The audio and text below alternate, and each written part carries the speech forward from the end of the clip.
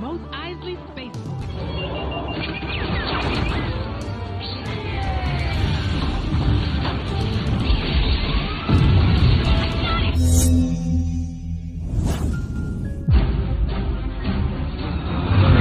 Night fighters, no threat of galactic annihilation.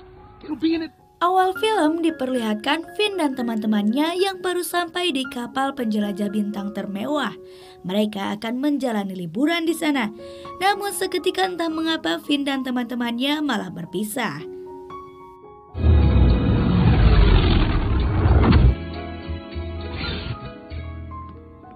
Setelah pesawat itu berangkat, Finn sendiri mendatangi sebuah bar. Lalu dia memesan minuman dan ditemui hantu Obi-Wan Kenobi, seorang jenderal dari pertempuran Geonosis. Mengetahui Finn yang sedang sedih, dia menghibur Finn supaya bersenang-senang dalam liburannya. Lalu dia bercerita dahulu pada saat di Tatooine, dia bertemu dengan perempuan mata-mata yang sedang jadi buronan. Namun perempuan itu mengaku sebagai istrinya. Which, by the way, is at best just an okay pit. I were looking for. She will enjoy her trip. My husband. Dia bernama Valeria. Lalu Kenobi membantu Pelera itu terlepas dari kejaran orang yang sedang bertugas. Setelah itu mereka berpura-pura sebagai suami istri dan melanjutkan misi mata-matanya. Mereka akan mengambil kembali koksium yang telah dicuri pemberontak lalu dijual ke kaisar. Ben, haven't you ever been to a bar without them noticing? Well, that sounds rather difficult. Mereka ikut berpesta, lalu Kenobi disuruh bernyanyi untuk mengalihkan perhatian semua penjaga di sana. Sementara Valeria melakukan aksinya mengambil koksium. Setelah berhasil, dia mengajak Kenobi untuk pulang. Namun sayang, Kenobi membuat baju Valeria terlepas dan penyamaran mereka terbongkar.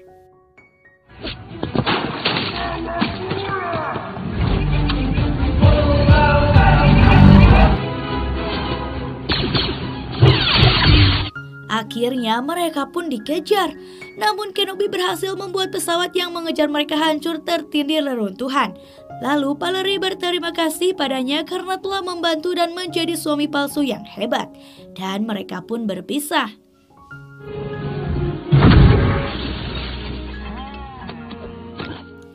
Kembali ke saat ini, Kenobi menyarankan Finn untuk bersenang-senang seperti pengalamannya dulu. Lalu dia pun menghilang. Setelah itu, ia pergi ke sebuah kolam dengan pancaran matahari buatan. Ia melihat Ray di sana, namun Ray sedang tidur dan ia pergi mencari yang lain. The newly restored beaches are the perfect place. Kemudian pesawat akan berhenti di sebuah pantai dan tempat ini cocok untuk keluarga yang ingin berselancar. Lalu Finn bertemu dengan para robot, Rose dan Chewie. Mereka bercerita tentang kejadian yang mereka alami. Namun Poe datang dan Rose menyuruh mereka untuk bubar. Secara tak sengaja, Rose mendorong Finn ke sebuah pesawat untuk pendaratan di pantai dan mereka akhirnya berpisah lagi. Finn kini berada di pantai sendirian dan dia ditemui hantu Anakin Skywalker. Finn menceritakan kejadian sebelumnya pada Anakin. Worst of the worst. And even he took one. Lalu dia berkata bahwa pahlawan harusnya tidak berlibur karena kejahatan tentunya juga tidak. Namun Anakin bercerita bahwa kejahatan juga liburan, seperti pada saat hari kekaisaran. Seorang kaisar sebenarnya tak ingin liburan. Ia benci saat melihat kembang api dan perayaan. I'm lucky if I even get my zaps in. Oh, look! Let's see. That's it. We're going to get you away from. Lalu Anakin mengajak kaisar ke tempat yang jauh dari keramaian dan dari galaksi.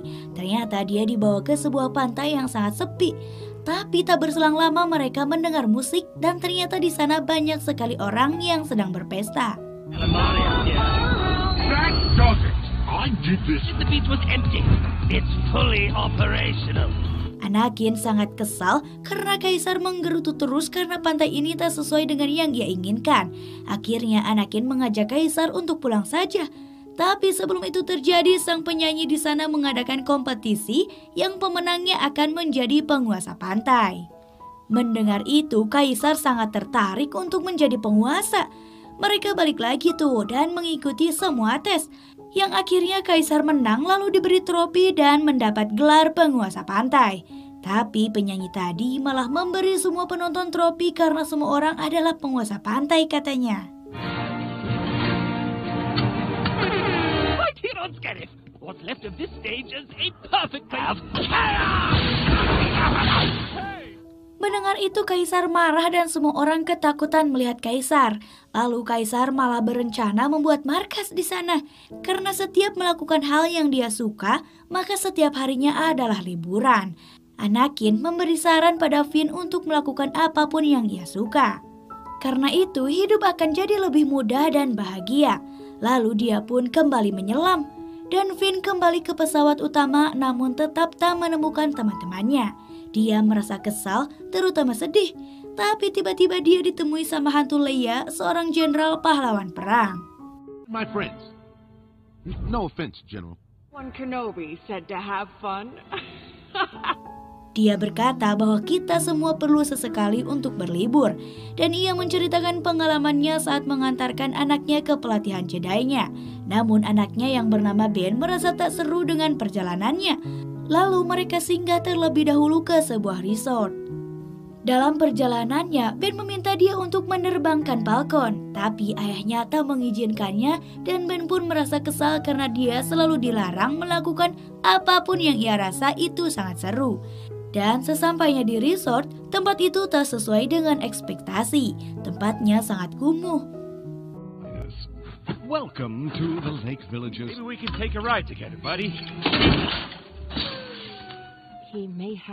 Namun Ben sedikit senang karena melihat anak pemilik resort lalu mereka ngobrol bersama yang lain.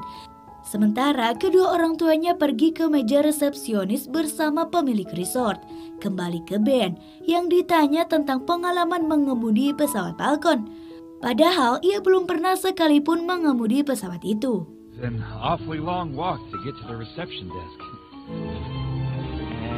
This is the nav computer. Di balik semua orang yang percaya, ada satu orang bernama Red yang tak percaya bahwa Ben bisa mengemudi Falcon. Lalu Ben dengan berani akan membuktikannya. Namun setelah masuk ke pesawat itu, si Red malah mengambil alih kemudinya. Jadi pesawat terbang tak terkendali. Beralih ke Han dan Leia yang berjalan jauh menuju meja resepsionis. Ternyata mereka ditipu sama pemilik resort. Dia memanfaatkan Han dan Leia untuk membuat para monster tak mengganggu lagi dia dan tamu di resortnya. Namun ternyata para monster itu mengenal baik Han dan Leia. Dan akhirnya mereka membuat kesepakatan berbisnis bersama. Tak lama kemudian pesawat Falcon lewat dan Leia merasa anaknya sedang dalam bahaya. Lalu ayahnya segera menghubunginya melalui hologram. Don't worry. We're gonna get you home safe. How? Got this, Ben. Out of my rough. Ben disuruh untuk mengemudi pesawatnya. Dia berhasil melewati puing asteroid dan mendarat dengan selamat. Red pun ditangkap. Lalu ayah dan ibunya sangat bangga pada Ben. Dan anak pemilik resort juga sangat kagum lalu mencium Ben. Ben pun merasa malu karena itu semua dilihat oleh semua orang. Kemudian mereka kembali ke tempat pelatihan Ben. Dan akhirnya mereka berpisah dan melepas Ben di tempat pelatihan. Dari pengalaman Leia, dia berkata bahwa mungkin liburan Finn jadi lebih sulit karena tak ada dari mereka yang siap mengucapkan selamat tinggal.